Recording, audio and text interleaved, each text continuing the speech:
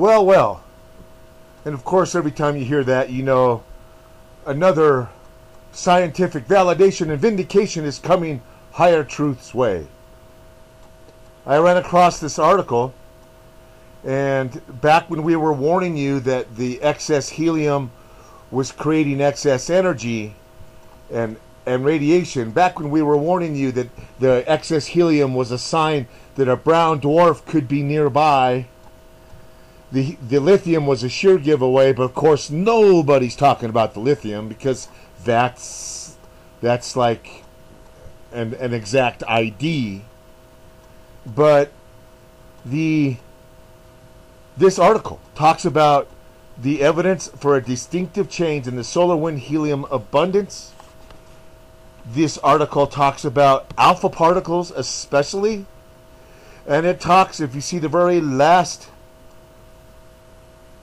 the very last line is cut off, but it says the frequency of AHE. That's the uh, ratio of helium um, is two to three times greater, okay, than the, all previous solar cycles. They're talking about solar cycle 24 now, okay?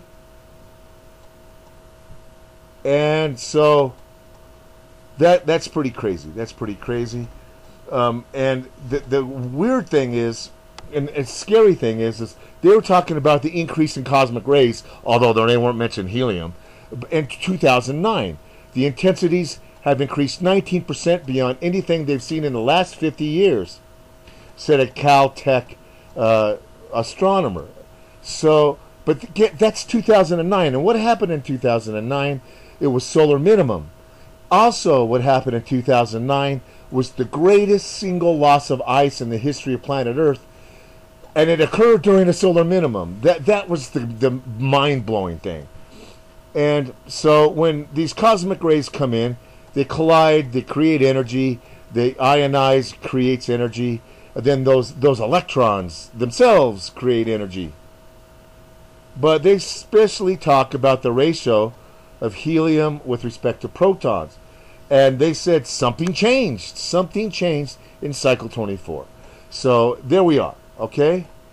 Uh, this article written in February last year, 2021, a year ago, is telling you the higher truth was way ahead of everybody.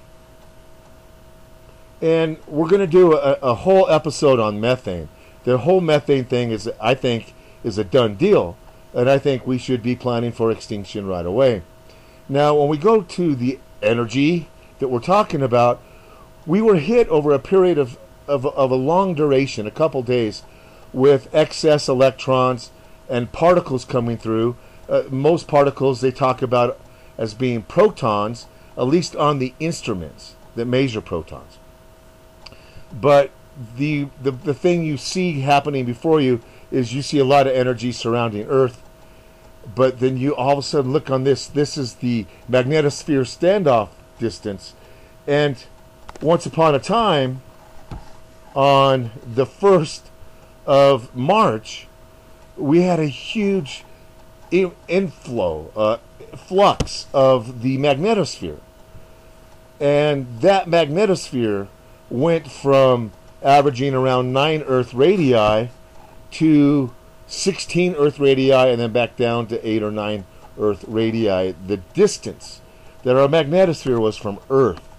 Now, what that does is create a lot of pressure, surface pressure on. Now, that surface pressure uh, has been attributed to a lot of things, but it, it, it can create earthquakes. And r- right around the same time as that huge flux in our magnetosphere, the Kermadec Islands let go with a 6.6. Of course, that's as we were entering the 90 degree alignment as well with planet X and the Sun. But still, when you have that significant of an event in your magnetosphere and an earthquake showing up roughly on the same time, you you have to wonder if they're related. And if you look back, there's a correlation. About 70% of the time, you have that incredible of a flux of your magnetosphere distance, you also have uh, an increase in amplitude and number of earthquakes. But what caused that flux, they say, was a geomagnetic storm but you see, we had one, two, three, four days of storming, uh, and we know that one tiny coronal hole stream can't just create that prolonged event. But we do have a sudden spike on the 5th or the 6th. They say it's this coronal hole that did it. It was Earth facing on the 2nd and the 3rd. So, uh, yeah, arrival in two, three days, it could, it could effectively create a geomagnetic storm, but you know what a weird geomagnetic storm when there's no protons. What a weird geomagnetic storm when you look at under 304 angstroms, you can't even see those coronal holes, and yet you know they've you know they've identified them, um, and so we have to say the coronal holes played a role in the geomagnetic storm, but does not account for what we're seeing. Because, again, as you read the NOAA report, 2 MeV electron flux right in front of your eyes is high, while the greater than 10 MeV proton flux is at background values. So, what what is creating your geomagnetic storms? If it's not the protons, then they're telling you the electron fluxes are high. That'll mess with your magnetosphere, definitely. But they're talking again through the 10th of March. They're expecting the 2 MeV electron flux to remain high and the protons to remain low. Well, this is why Planet X is up there um, in front of Uranus. Its wind is coming in towards the Earth and it's mixing with the sun's wind. And it's coming in and filtering in in between the spiral arms of that wind. And therefore it's pulsing in that extra those extra particles and those extra particles enhance your geomagnetic storm, especially now as part of those particles are passing through, a portion of them are passing through the corona, getting lit up, ionized, becoming energetic, and releasing a lot more energy. When we talk about the alignments, we always talk about earthquakes with respect to the alignments. But remember, they can also cause solar flares. Again, we're talking earthquakes now and and you know we're talking wobble, we're talking alignments with Planet X, and also Jupiter and the Sun, and Planet X getting higher and higher and higher in the sky. Uh, we're going to expect more of a vertical influence on the motion of Earth, the wobble of Earth. So we're going to see a little more bounce to the wobble. That should make your horizontal plates a little more stressed, but it should also cause more earthquakes in the very north and the very south of planet Earth, and we are seeing the slight increase in our far north earthquakes. In the upper right hand corner, there's an earthquake way up there uh, off the coast of Greenland, covered up by that drop down menu. But we see the entire mid Atlantic ridge, it's not the whole ridge isn't shifting, but again, we're seeing that flavor of a large body alignment where the mid Atlantic ridge lets go with five pointers at 10 kilometers depth. We do have six pointers down there in the lower left off the coast, Kermadec Islands near the Tonga region.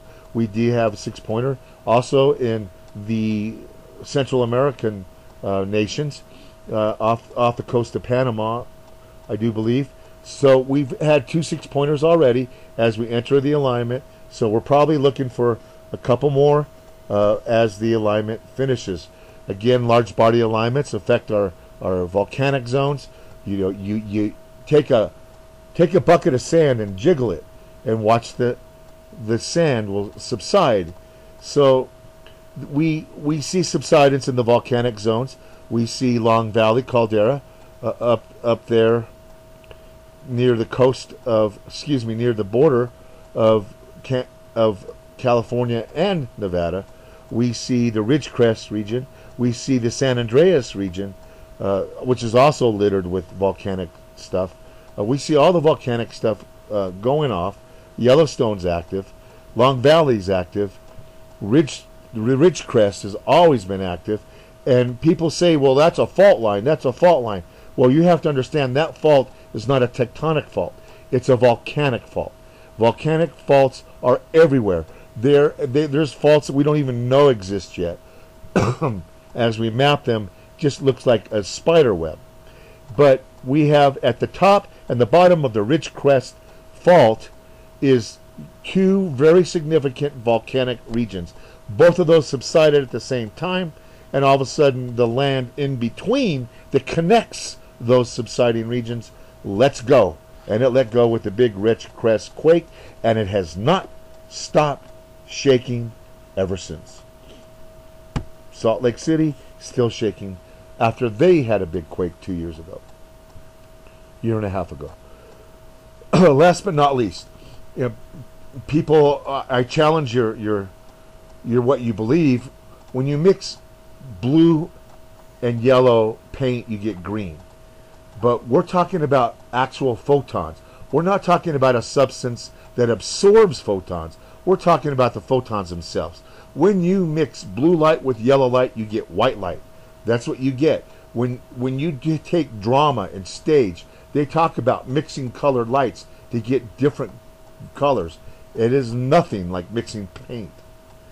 Um, and so, what creates the blue light are electrons. Electrons changing speed, electrons changing direction will emit blue light.